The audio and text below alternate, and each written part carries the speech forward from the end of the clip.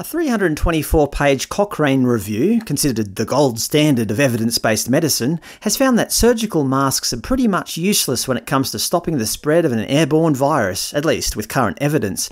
It states wearing masks in the community probably makes little or no difference to the outcome of influenza like illness compared to not wearing masks.